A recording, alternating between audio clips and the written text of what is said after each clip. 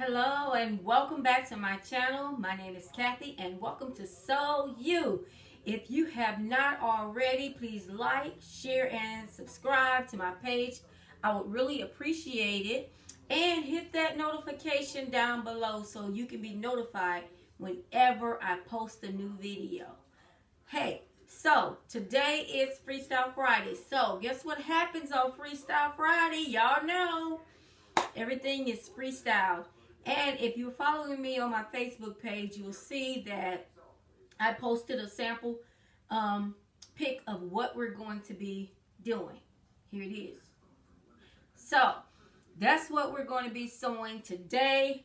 And I'm going to let you know what fabrics you're going to need for that beautiful black fitting scuba knit dress. Cute with the layered sleeves. So, first you're going to need, and this is a mesh. I got a black mesh fabric, and I only needed half a yard of this. All you're going to need is half a yard of this black mesh, okay? Then you're going to need your organza. Do not get tulle. Do not get tulle. Get organza. It's a little bit more pricier. It's a little pricier, but this is what's going to give you that look that's on that picture. I got two yards of this organza. Then you're going to need your scuba knit, your neoprene knit, whatever knit you want. As you can see, this is a nice, um, uh, thick one. You don't want any flimsy ITY jersey knit. You don't want any of that for this dress. You want a nice form-fitting knit so it will just lay with you. So this one is a nice knit that you're going to need. Then you're going to need your bias tape. And I always get the double fold bias tape. It's easier to deal with. I just like these. And I got, I think I got about seven of these. They come in three yard quantities. So you can find these at Walmart. Um, I got these at Joann's today. And I got an invisible zipper. And I got a 20, 22 inch. I don't want to pull it over my head, so I got it where I can zip it up. So these are the items that you're going to need for um, this beautiful dress you're getting ready to create. So if you're interested, stay tuned. Okay, welcome back. Now, as you can see, now this pattern right here, the Cynthia Rowley, I love the way this pattern, this dress looks on me. So it's kind of one of my go-tos when I want a nice fitty dress. So this is what I am going to be using, okay? Pattern number uh, 8733 with Simplicity. So, and I did the longer version. What I'm going to do is, and as you can see, I have folded over because according to the picture, there's mesh there. This part is going to be the mesh, the black mesh, okay? I folded down this pattern four and a half inches. That's what I did. I folded that down four and a half inches, okay? Then what I am going to do also is extend this dress. And I want to extend this because I want it right at my calf.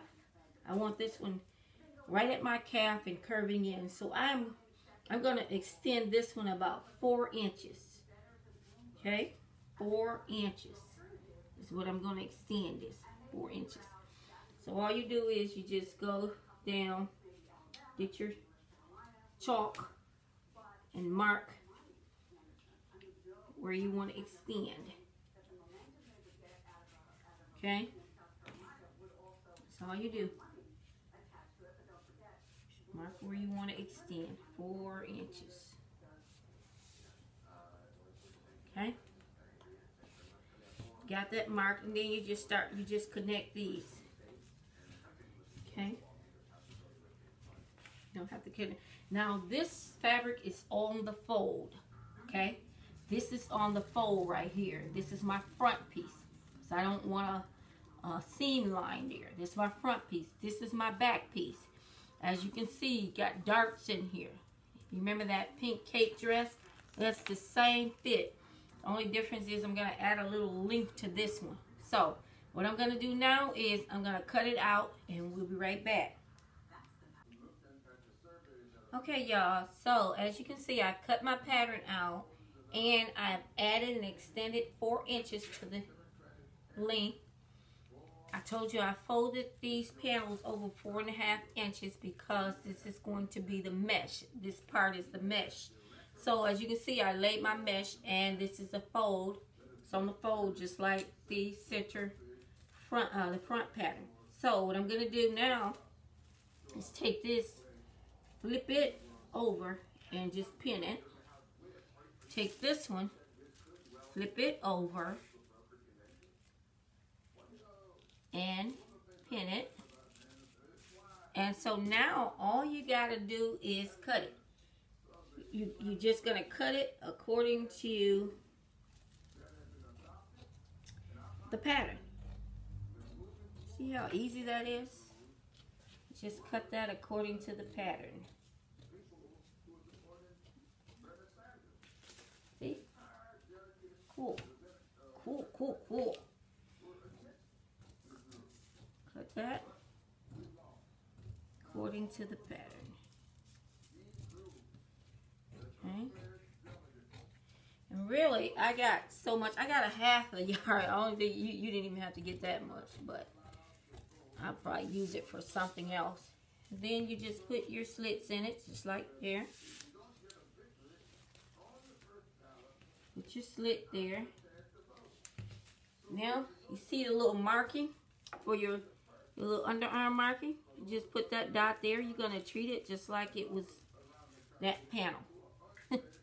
uh, just like it was that dress, rather. Okay? Put my little marking there. Now, what I'm going to do is, because I got all my markings, I put all my markings on my, my darts. And you know what? I just thought about it. I did not put my markings on my bust darts. So right now, that is what I am going to do. You know how we do it. Put those pins in there so you can have a guide. Both sides. Take it out as you go. Both sides. Got. Do not miss your markings. Markings are very important. Okay? Oh. Now, that that's done. Now what you do is you're going to take your pins out, put your pattern to the side, and we're going to work with the front first. I'm going to put this one over to the side, the back. This is the front, what we're going to work with. See? It's on the fold. So there is no seam in here. And as you can see, you can see my little dots in there for my bust darts. And what I'm going to do is I'm going to put those together because I'm getting ready to go over to the machine and uh, sew my darts, bust darts in. I'm going to sew those in first. Let me show you what I'm going to do while I'm over there at the machine as well. You can kill two birds with one stone, okay? That's what we're doing today. Killing two birds with one stone. Okay. So, okay. So now we got that. We know that is the inside. Okay. Now I'm going to turn the right side out and get my mesh. This is my piece of mesh fabric. And what I'm going to do is place it right on that line there. Right sides. Uh, oh Lord. Right sides to right sides. Yeah, that is right side. Okay. Right sides to right sides. Okay. Always right sides to right sides because if you do it any other way, you're gonna have you're gonna sew a seam on the outside. Okay. So put your pins in there and make sure you you at least put about four or five pins in in in this because this mesh can tend to slide so you see you got that on there and so now what you're to do is you're to go and sew five and five eighths of an inch seam allowance there and then you're to sew your darts from dot to dot okay and then when you do that we're going to come back all right Okay, um, as you can see, I added my mesh on to my dress. Added my mesh on here. I've sewn down my... Oh, Cooper, you just got a snack. Calm down. So, sewn down my bust darts. And then I I sewn down the, um, give it a top stitch across here as well. Okay?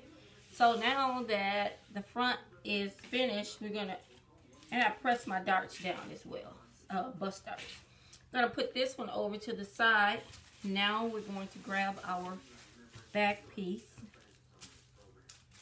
And we know our back piece, we should have two pieces of uh, uh, mesh fabric. Should have two, okay? And so what you're going to do is you're going to sew them down. I mean, you're going to pin those down right sides to right sides, okay? You got to pin those down right sides to right side.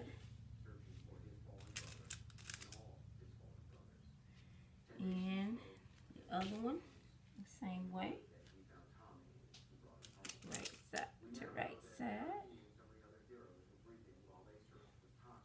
And so when you do that, what you're gonna do now is you see your your dots for your um, darts. So now you're gonna pin those so you can have your guide for that, okay? Your bust darts. You go over to the sewing machine and I tell you, we killed two birds with one stone. We're not going one step, one step, this and that. You gotta be able to sew this stuff down and go over one time so you can uh, spend less time sewing. You should be able to sew this dress at some point. I don't expect you to do that as soon as you, I mean, as soon as you start sewing, but after a while, you I, I could sew this dress in, well, the sleeves is what's going to take up the time, so I'm not going to put a time on it. I was going to say a couple of hours, but I'm not going to put a time on it because of the sleeves. Those sleeves are going to take some time, and you'll notice that. So, now what we're going to do is, since we have our back mesh piece on, on both of them, and then we got our darts sewn down, we're going to go, and while you're doing this too, so we're going to kill three birds. We're going to sew our back on as well, okay? At our our back where our um, zipper starts, zipper stop. Okay, we're gonna do that too right now. So you see where your um, you should have a um. Wait a minute. Wait a minute. I got something backwards here. Okay, like something is not lining up here. Okay. There we go. There we go. Like my shoulders, uh, my um arms seams are not lining up. So you should have. We're back on target now. you see that notch there? That's where we're gonna end our zipper at because I got a 22 inch zipper. I wanted a long zipper uh, for this dress. So what I'm gonna do is start here, go all the way down. That'll be the beginning the um, stop for my zipper. So we're to do all three of those steps and we're to come back. All right, lovelies. So we've gotten our darts, back darts sewn on. We've gotten our um, mesh pieces put on for the, uh, the back, as you can see. I did not sew this down yet. I'm to give it a top stitch across. I didn't do that, just like I did the front. And so um, I gave all my seams a good press, as you can see. Nice press, uh, all of that. Now this is ready actually for the um, front piece. So grab your front piece and you go, this is the right side. Now I'm to put the right side on top of that one, okay? And I'm to go up here to the top and pin. That's really, really, um, now some people might want to put a little piece of, I don't want anything in there. I'm to do a very thin seam on here. Some people might want to put a piece of ribbon uh, in there to give it some more strength. I, I don't I don't do mine like that. I want it almost seamless, like an invisible seam. So once I give it a seam, then I'm going to cut it across all the way down, grade it all the way down, and uh, cut all that out of there so you can barely see it. It'll look like it's just a illusion. Look like it's all connected into one piece. Okay, so do that. Then we're going to pin our sides down. Okay, pin your sides down on both sides all the way down. Give it a 5 8 7 inch uh, stick and then we'll come right back. Okay, so now we have um, our dress connected and we put in our zipper. Put a zipper in in the back. Now what we're going to do is we're going to lay this to the side. Only thing we have to do left for this is add the sleeves and hem the bottom.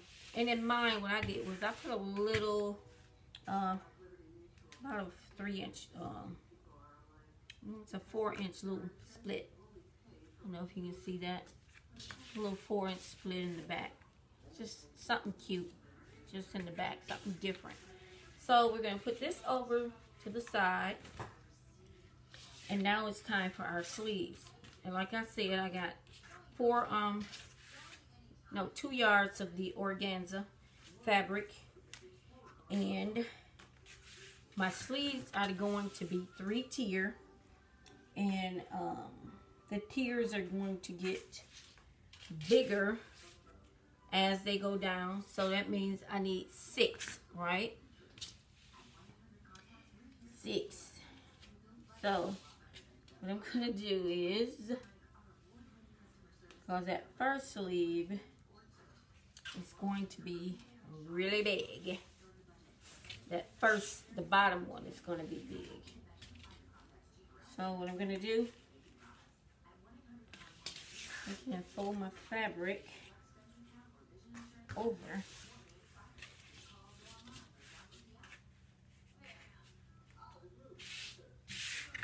Kind of see where I want. Okay. So that. Then, you see how I folded that?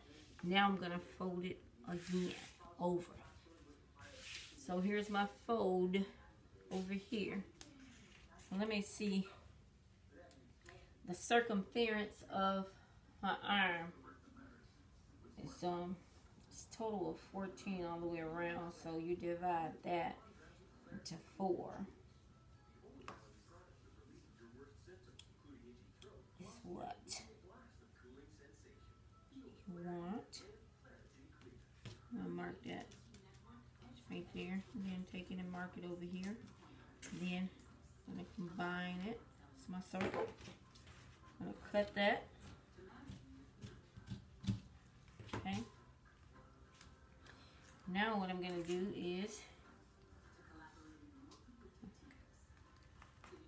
sleeve goes down 10 before it starts so mark that 10. I'm going to take them down to 10. This is going to be 10.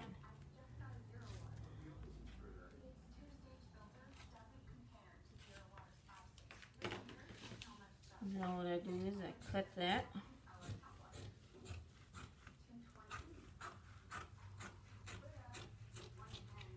Okay, I should have two. Yep, see, got two. One, two. That's going to be the bottom one, okay? It's going to be my bottom, and I'm going to gather it as well. That's the bottom. So what you can do from here is use this as your basis of how you're going to cut the rest of the sleeves, okay? Use this now. now we know we want. So this is we know that's 10 so put the other one probably at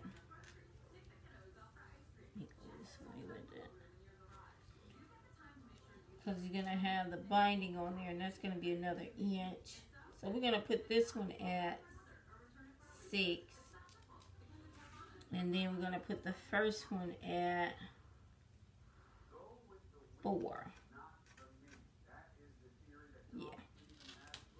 So 4 6 and 10 this is 10 now I'm going to do my next one at 4 and then uh, 6 and 10 so grab your fabric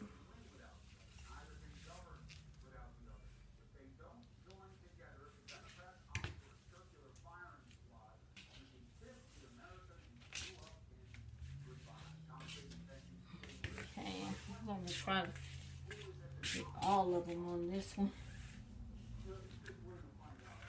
Let's see if I can get all of them. Let me see. What is that? See if I can get six.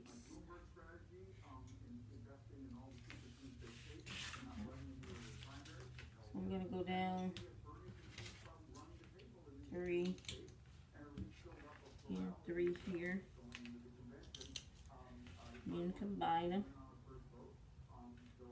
My circles. My circle. Okay. Now I'm gonna go over six. That's my little pen. See, I can go six. Six. Six. So I'm going to cut it out six. I'm going to cut all these out at six first. Okay.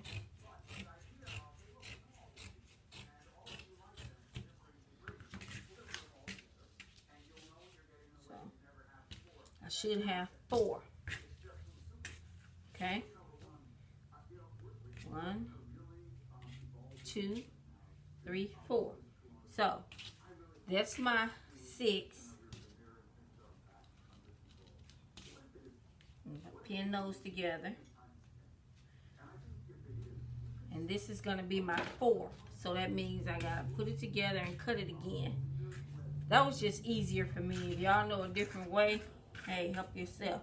But this is the way I do mine. Okay. So, put it back together. Getting ready to cut it. Okay. And then just going to mark it at 4. Okay. 4.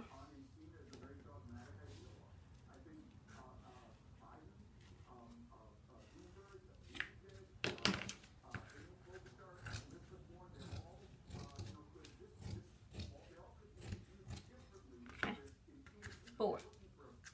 So I got my two four. So let me kind of show you what we're working with. That's the six. This is the four. And this is the ten. Okay, let me put them on top and let me see, let you see what we got.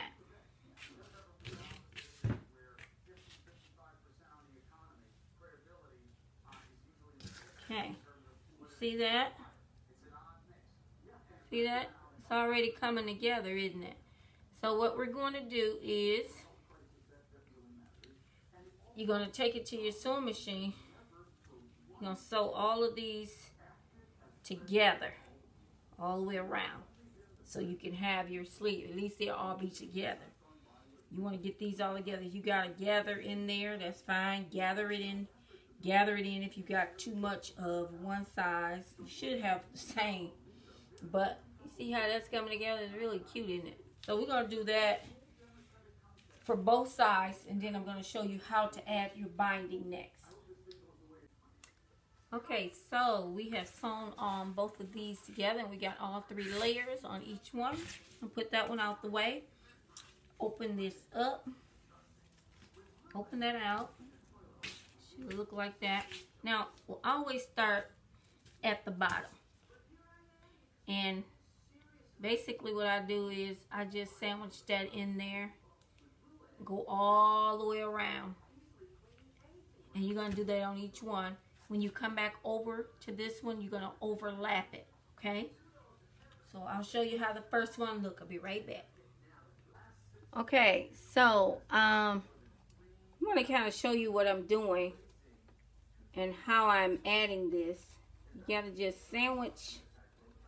See how I'm sandwiching that binding in there. Look at how it's starting to look here. That is how you do it. You just, let me do it one more time for you.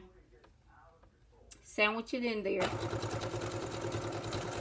Now, if you need a pin, you can put pins in there. Now, I get the wide because the wide catches the organza better. Okay?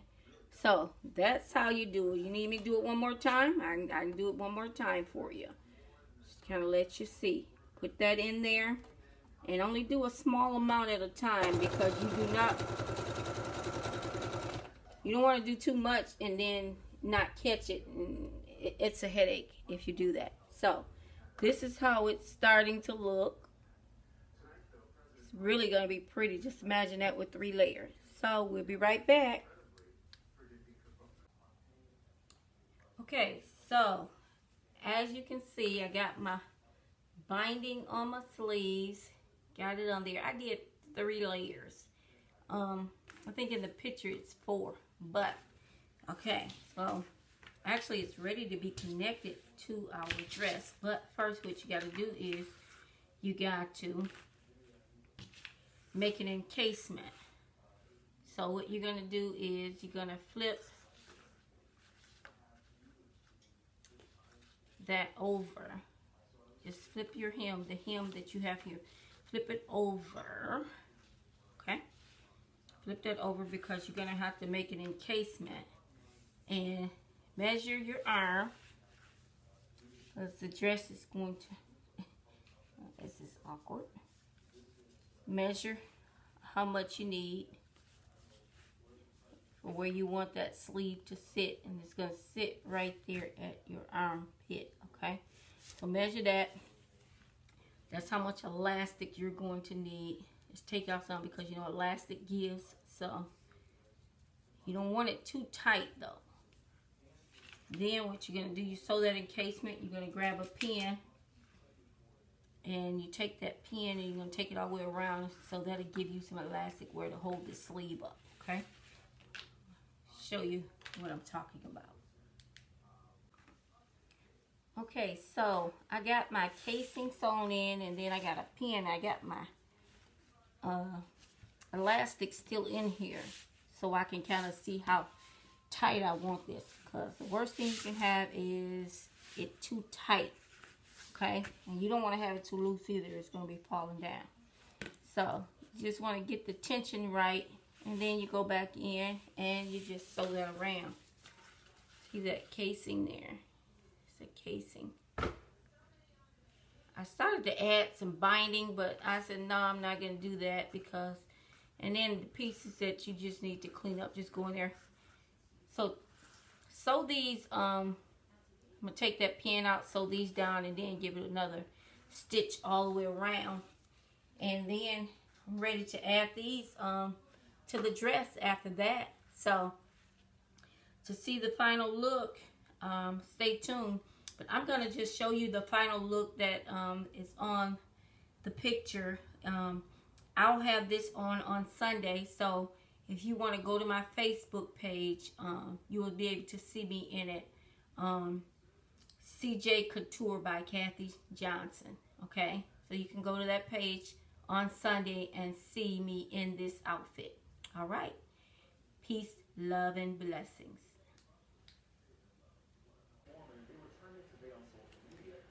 This is version of outreach. This is version. Opening up 15 community centers